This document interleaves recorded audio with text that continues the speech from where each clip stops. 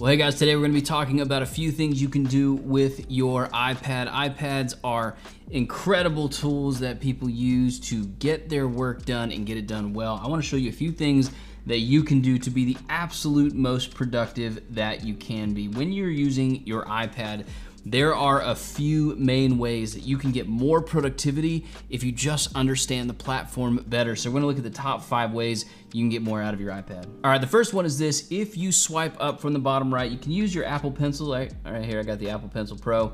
Really like the Apple Pencil. You can swipe up on your Apple Pencil just like this, and you can bring up a note where you can start drawing if you need to. Um, or if you just have, you know, if you don't have your Apple Pencil Pro connected, you can use it to type on. If you're like me and you've ever been on a call, like a, maybe you're on a Zoom call, some kind of meeting, and you don't have a notepad around, you like really just need something to jot things down, this is a really great tool when you do this. Let me do it real quick with, you know, just my finger. You could do this, and then just like that, you see how you kind of can type on it. It typed everything out. looks terrible, but it works really well. You know, if you're if you're just doing little notes kind of thing, it's a it's an awesome little tool.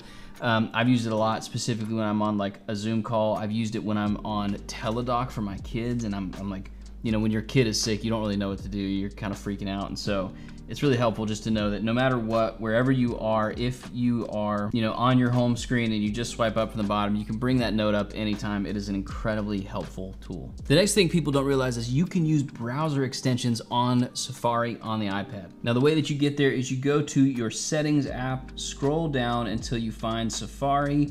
Then when you're on Safari, if you go down near the bottom, it says extensions, you click that It'll have a list of your extensions on the actual iPad, or you can click more extensions and it goes into the App Store where you can find more extensions for your iPad. The next tip to get the most out of your iPad is have a place to work where you're gonna work the same type of work at the same time every single day. For me, this has been incredibly helpful. I write a ton of sermons and so I try to do it in the mornings in the exact same chair every single day. That way when my like I sit down in that chair, my brain switches immediately into study mode. If you're context switching too much or you're moving about and you're kind of working in different places, it's not helpful for you because your brain is wired with neuroplasticity so that it, it gets into a certain mode wherever you sit down. And so if you're kind of more creative person, make sure you're sitting at the same desk or make sure you're sitting in the same chair at the same time of day and your brain will thank you. And with that in mind, if you want to talk about a good chair, let's talk about today's sponsor, FlexiSpot, with their Lotus chair. All right, quick pause. I got to tell you about this chair that I've been using lately, and it has absolutely blown my mind and it really has changed the way that I work and it's changed the way, most importantly for me, the way that I relax. Listen, I can work way too much and it's helpful to have a chair that really does help you relax. This is the Lotus recliner from FlexiSpot and let me just say, Man, this thing is built for maximum comfort. It's got a spacious 20.9 inch seat and wide armrests that are really squishy and really comfortable, which means anytime I wanna sit upright, I can do it. If I wanna sit sideways, I can do it. Cross-legged, not a problem, you name it, this chair can handle it. And whether I'm editing or reading or know, I'm just sitting around watching Netflix and I wanna be really cozy, this chair can do it. But here's the best part about this chair, it both swivels and it rocks back and forth. This is a game changer, especially if you have kids. I mean, my kids are a little bit older now, but I remember when they were kids and you just sit in a regular chair and kids need to be moving all the time, especially if they, they cry a lot, all that stuff. Being in a chair that you can rock back and forth, it is an absolute game changer. It makes it so for me, now with my kids as old as they are, I still just love rocking back and forth. Man, I will fall asleep real fast in this thing. And what's really awesome when I'm, you know, worked a whole work day and I just really need a break, then I can lean back and it reclines effortlessly. It actually lets you kick your legs up. It is so comfortable to pull off just a quick little nap. And another thing I love about this is it has a concealed storage. And so I can leave my Kindle in there, any books that I'm reading right there, and it looks really beautiful. And if you have the electric version, it has a USB charging port in it it's really functional. And so if you're somebody who spends a lot of time at your desk or you just want a chair that actually helps you relax and you can actually take a nap in, this chair is a game changer. Check it out using my link below and if you use the code LOTUS30, you'll get another $30 off plus free shipping. That is a huge deal. And FlexiSpot's gonna be running their brand day deal soon, so there's gonna be more savings coming up. So go ahead and pick one of these up. Your back will thank you. You're gonna get the best sleep on the chair that you've ever gotten before.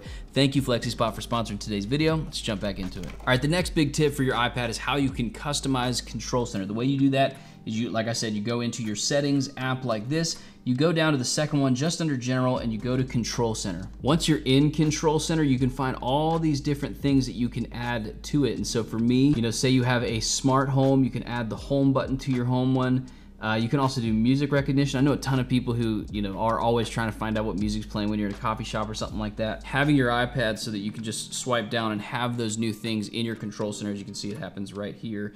Uh, having those for a quick access menu, man, it makes uh, such a huge time saver if you're constantly going through your iPad and trying to find like to get to your utilities and you don't want to always go to those different apps. Having it in your control center it's game changer. The next thing is that you can drag and drop between apps. Say I wanted to take this beautiful picture of my wife. We had a great you know, day over at this day date that we did, and I wanted to bring it into a journal entry right here, and I brought it in great day date at this place.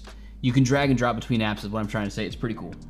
That's a funny picture of my wife now. Or say you have something like a quote from a book and you just wanted to grab it. This is from Gavin Ortlund's Gentle and Lowly. Maybe I was trying to find like, man, where did I have this quote saved? See how when I pick it up, it moves around with me? Then I did this, I went into Safari and I dropped it in right there and all of a sudden I can find where that quote comes from immediately. So that was dragging and dropping between apps. It is super helpful. The next one is this, that you can actually open up something like Spotlight. So all you do to get Spotlight, you drag down from the middle of your device and you can do 10. Another small tip is when you're on the regular view with the, the letters, you can pull down on them to pull up the numbers. So say I did 10 times two and it's right there in Spotlight. I can copy it and paste it somewhere else. It just makes it so that you, are like, the steps to get the answer you need are super fast. And for me with the work that I do, man, speed is everything, but I have, I have so many different responsibilities. I wanna get them done quick. So let me know in the comments below, did you find any of these tips helpful? Maybe you have a few tips of your own that you wanna share with us. Let us know. I wanna help you become the best iPad user you can. And if you like this video, go ahead and check this video out right here.